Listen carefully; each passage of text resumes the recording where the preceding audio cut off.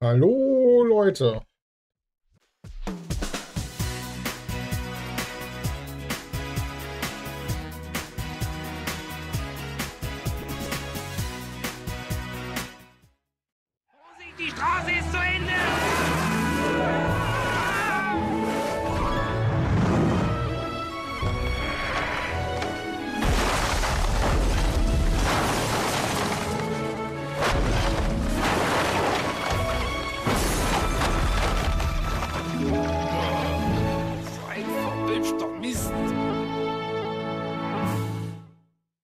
Heute präsentiere ich euch Crazy Race 2, wie die Mauer wirklich fiel. In diesem Fall wieder meine vier Filme Box.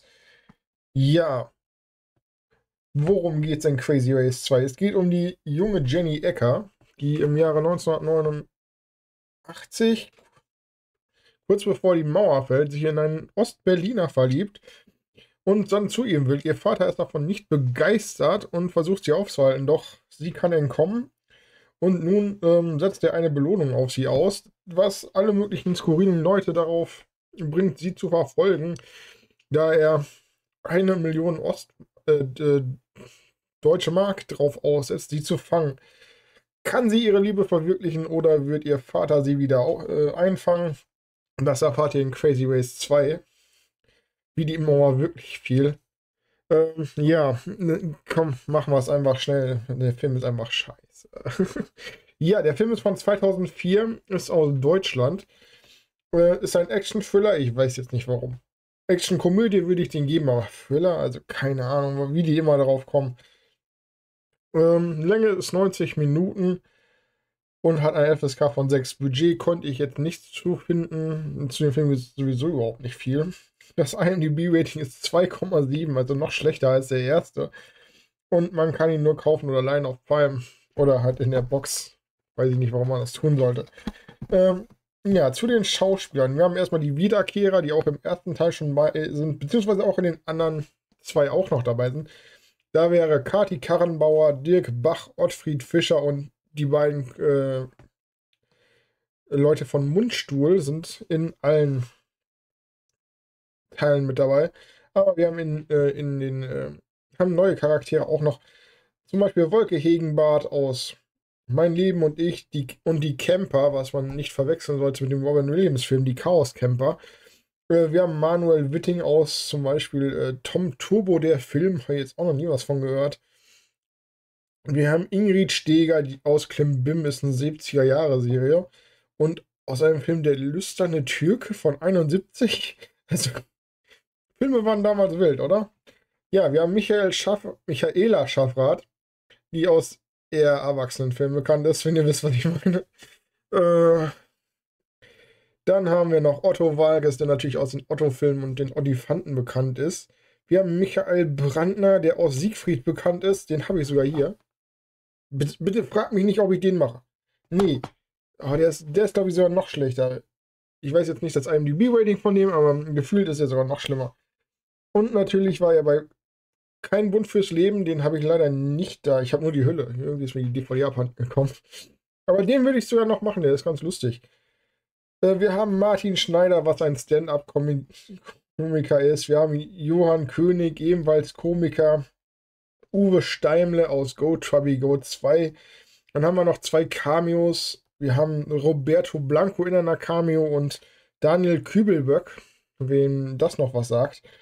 Ja, die kommen halt beide eher kurz vor. Ja, es gibt nichts zu dem Film. Es gibt absolut nichts. Keine großen Infos oder so. Irgendwelche interessanten Geschichten, die ich euch dazu erzählen kann, außer dass der Film halt nicht so prall ist. Ich finde ihn semi-unterhaltsam, aber empfehlen würde ich ihn jetzt auch keine. Vor allem, der ist, ist teilweise gedubbt, also die Stimme wird drüber gelegt. Vor allem bei Michaela Schaffrath klingt sie immer, als ob sie gedubbt wäre, als ob das nicht äh, live aufgenommen ist, was ein bisschen komisch ist. Und es kommt auch ein bisschen komisch vor, wenn der Charakter gerade gesprochen hat und im Bild ist und dann auf einmal nicht mehr im Bild ist und das Dubbing kommt, weil die Tonqualität sich unterscheidet, was echt seltsam ist. Die visuelle Qualität des Films ist auch von Szene zu Szene unterschiedlich. Mal etwas besser, so DVD-Qualität, ist ja auch eine DVD, und dann wieder Kassette vielleicht, also so richtig schlechte Qualität. Ich weiß nicht, was da los ist. Es ist ein RTL-Film, also ja. Ja, würde ich den Film jemandem empfehlen? Ich glaube eher nicht. Ob ich ihn mir nochmal angucken werde, ich weiß es nicht. Er ist, ich fand ihn unterhaltsam, weil er durchaus dumme Witze hat, aber 90 Minuten ist schon, ist schon echt lang für diesen Film. Da auch die Prämisse eher seicht ist. Also, ja. Wenn ihr den Film gucken könnt oder irgendwas anderes, guckt was anderes. Ganz ehrlich. Außer ihr seid neugierig, aber ich würde es euch selbst da nicht empfehlen. Ja, und damit wünsche ich euch noch einen schönen Tag und tschüss. Oh, okay.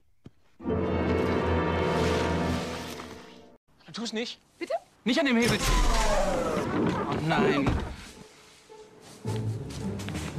Nicht schon wieder.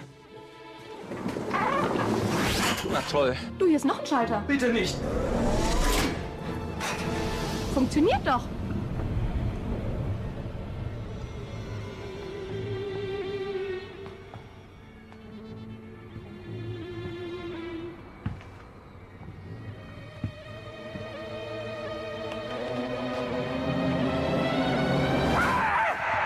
Was suchen Sie hier? Da sind Sie. Agenten, Mörder, Verbrecher. Aus mir kriegen Sie nichts raus. Ich schweige wie ein Grab.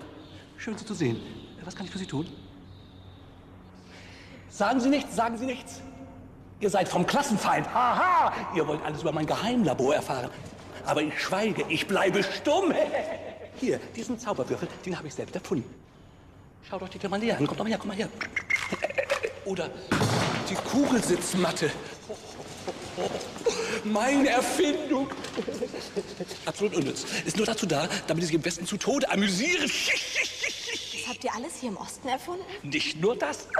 Auch den Flockatenteppich. Aber warum ich den erfunden habe, das werde ich nie verraten. Das ist Staatsgeheimnis. Das müsst ihr aus mir herausprügeln. Aua, ah, uh, ah, es reicht, es reicht. Ich habe mich überzeugt. In Millionen bundesdeutscher Haushalte ist er der ideale Nährboden für biologische Kriegsführung. Und ich spüre es an mir selber, es funktioniert. Und was ist da drunter?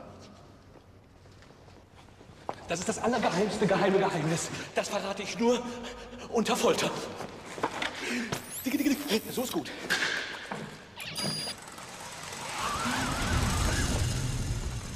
Den werden wir der Firma Porsche unterjubeln. Das ruiniert sie bestimmt, denn wir haben schon einen Geländewagen der Firma Porsche. Wahnsinn, zu welchen technischen Leistungen wir hier im Osten fähig sind. Können wir es dir mal ausleihen? Seid ihr wahnsinnig nur über meine Leiche? Dann müsst ihr mich umbringen. Oder ich muss euch umbringen. Hier. Aber macht bitte keine Kratzer dran. Hey! Ich habe noch was erfunden. Das neue Kultgetränk, WOG, W-O-G, Wasser ohne Geschmack. Sieht nach nichts aus, schmeckt nach nichts, ist aber dafür sauteuer. Oh mein Gott. Was habe ich getan? Was habe ich getan?